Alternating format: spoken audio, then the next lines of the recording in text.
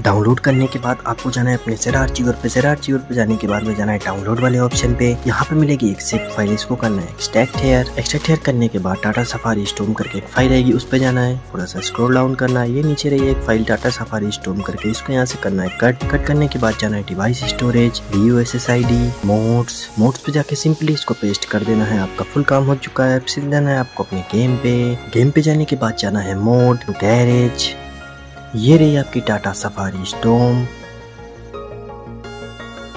कुछ ऐसा लुक आता है।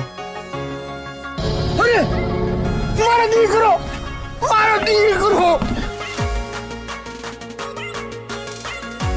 कुछ ऐसी बैक लाइट्स देखने को मिलती हैं कुछ ऐसा इंटीरियर देखने को मिलता है।